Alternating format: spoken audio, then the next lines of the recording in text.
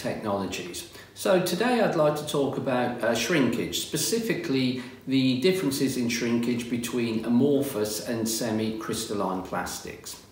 Also, I'd like to look at uh, what happens when we apply additives to the plastic, specifically if we apply colour. How does this affect the shrinkage too? And what about a process? Can our process affect the shrinkage as well? So specifically, what happens uh, when we have uh, different cooling rates, for instance? And also how the pressure gradient within the cavity can also affect the shrinkage and with it, warpage. So, let's look at the main difference then between a semi-crystalline and an amorphous material. So we've got two parts here, made on the same mould, but in different materials. So we've got PCABS, which is an amorphous material. Generally, amorphous materials will have a shrinkage level of around about 0.5 to 1%. They can vary slightly from that. A semi-crystalline material, such as this, so this is low density polyethylene. So low density polyethylene and other semi-crystalline materials will generally have a shrinkage rate of around about 1.5 to 3% shrinkage. And again, it could vary from that. One thing to remember though is that particularly with semi-crystalline materials, we can affect the shrinkage, particularly with cooling. Okay, so we'll talk about that in a moment, but let's look at the uh, shrinkage rates of these two different materials then running on this same mould.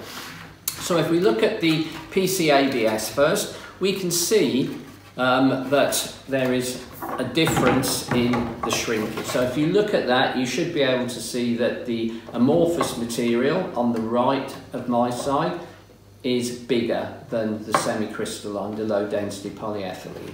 And if we look at that as an overall shrinkage rate, so on the length of the PCABS, the amorphous, we're actually getting about 0.83% shrinkage.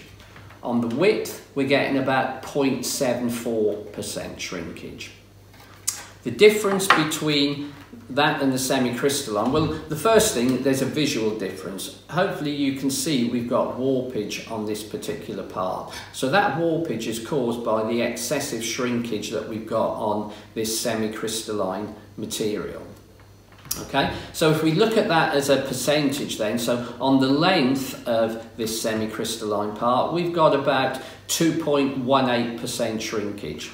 And on the width, we're getting about 2.14% shrinkage. Okay, so if we were to look at that as an actual size, we can actually see that on the width, we're getting about 2.9, almost 3 millimetres difference in the size. Whereas on the length, we're getting even more. We're getting about 3.5 millimetre difference in the actual part size. So that's all down to the different levels of shrinkage. So why do we get more shrinkage on the semi-crystalline material? Well, first of all, we've got to look at the structure. So the structure, the molecular structure, when a semi-crystalline cools, it takes up a more ordered structure than an amorphous. So we generally will have more shrinkage along the flow than across the flow. But the big difference is the crystals. So only a semi-crystalline material will have crystals and those crystals are only there when the plastic or the semi-crystalline plastic is solid. So as we heat a semi-crystalline material up, at a certain point, within 10 degrees, the crystals start to dissolve. And as those crystals dissolve, it becomes a low viscosity liquid. So we've got a definitive melting point. And the crystals will only reform when we cool it. An amorphous material is different. As we heat it up, it hasn't got any crystals, so it hasn't got a definitive melting point. So it will just get softer, the viscosity will reduce, it will flow easier as we increase the temperature. So this crystal growth that occurs during the cooling is important because we can affect that crystal growth by temperature. So for instance, if we were to increase our mould temperature, it will allow the crystals to form longer. We'll get more crystal growth. And that extra crystal growth will give us more shrinkage. So the hotter the mould, even the melt temperature will have an effect on this. The hotter the melt temperature, the more crystallinity, the more shrinkage that we will get. Now mold temperature won't really have an effect on shrinkage on amorphous, but it will on a semi-crystalline. So we need to be aware of that on our process because any variation in our mold temperature, our process, if we've got critical part sizes, that could give us problems uh, when we're moulding with different size parts. So looking at uh, crystallinity in a little bit more detail then. So here I've got a PET bottle. So this is a semi-crystalline material. So generally the clear plastics are amorphous because the crystals basically uh, turn the plastic uh, milky or opaque.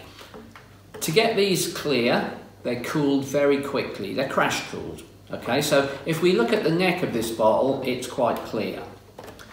What we can do, so if you look at this, uh, another bottle here, what I've done with this, again a PET bottle, originally it was clear, cooled very quickly, but I've all I've used here is a paint stripper gun to heat the neck of this up, and I've let it cool slowly in the atmosphere. Because it's cooling slowly, lots of crystals are formed, and you can see now it's become opaque.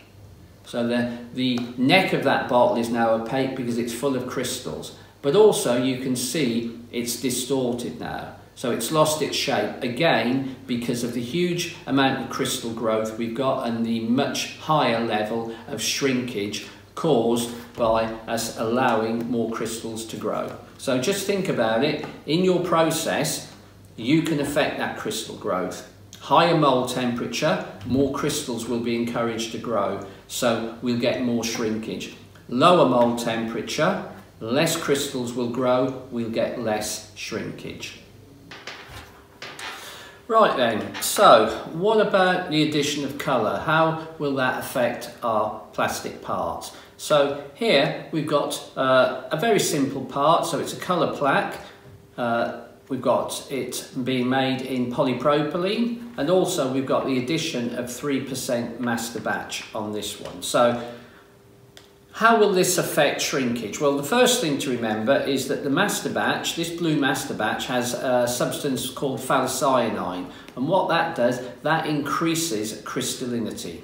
Now, remember, anything that increases crystallinity will affect shrinkage. More crystallinity, more shrinkage, less crystallinity, less shrinkage. So how does that equate into part sizes on this? So as a shrinkage level, if we look at uh, the clear one to start with, so this has 2.4% shrinkage as an average on the length and 2.1% shrinkage as an average on the width. If we compare that to the blue, so the blue has 2.9% average shrinkage on the length and 2.69% average shrinkage on the width. Now, as far as size is concerned, that equates to about 0.3 of a millimetre difference on the width and the length on these relatively small parts. Now, if you're making buckets and bowls, that might not be such a big issue, but if you're making critical part sizes, then that certainly could affect uh, the function of the parts. They might not fit together. If you've got parts that uh, maybe have snap fits, they've got to fit together, then the addition of a master batch could cause you problems. So what can you do about that? Well, on some parts, you might be able to change process conditions to affect the shrinkage. Uh, but you might not be able to do that. So you might find that you're in a situation on certain colours, um, particularly colours that have phthalocyanine in them, that you might need to have different steel cuts, so different uh, cavities, cores or inserts uh, to allow you to achieve your desired part sizes. Okay, so just remember, the addition of colour will also affect shrinkage on a semi-crystalline material because it affects the rate or the amount of crystallinity that we're going to get. Okay, what about the pressure gradient then? So we, we, we uh, briefly mentioned this, or I briefly mentioned it right at the start. So what is a pressure gradient then? So basically a pressure gradient can only be measured if you have pressure, cavity pressure sensors inside your mould. So generally to measure the pressure gradient you would need a pressure sensor near the gate and also at the end of the cavity, the last area to fill in the cavity. Now the difference between the pressure at the gate and the end of the cavity is your pressure gradient. Now remember, the only thing that causes pressure inside the cavity is the plastic. It's the plastic pushing against the steel inside the cavity. So if we were to fill slowly, for instance, that plastic will cool. It'll take longer to get to the end of the cavity. It will cool more. It will shrink more. So that's why generally the pressure at the end of the cavity is lower than at the gate. Now, think about something else. Pressure affects shrinkage. Higher pressure means less shrinkage. Lower pressure more shrinkage. So generally, if you've got a big difference between the pressure at the gate and the end of the cavity, you're going to have different levels of shrinkage in the same part. Different levels of shrinkage in the same part means one thing, warpage. So as an example, if we look at this part here, so there's our gate. Let's say we have 200 bar pressure at the gate. Now, let's say we inject slowly and by the time we get to the end of the cavity, we've got 80 bar. So 200 take away 80 gives us a pressure gradient of 120 bar. So there would be 120 bar difference in the pressure. Now that could cause warpage due to uh, pressure gradient. If we were to inject fast, which a lot of moulders know that to keep parts flat you need to inject fast, but they don't really understand why. So let's say we're injecting fast, let's say we have 200 bar at the gate. Now when we inject fast the plastic will get to the end of the cavity quicker, it'll have less time to cool and shrink, so we might now have 190, uh, 195 bar. Okay, because we might only have 5 bar difference between the gate and the end of the cavity because we're injecting fast. 200 bar at the gate, 195 bar at the end of the cavity equates to just 5 bar pressure gradient. So we'll now have equal shrinkage along this part because we've got a low pressure gradient.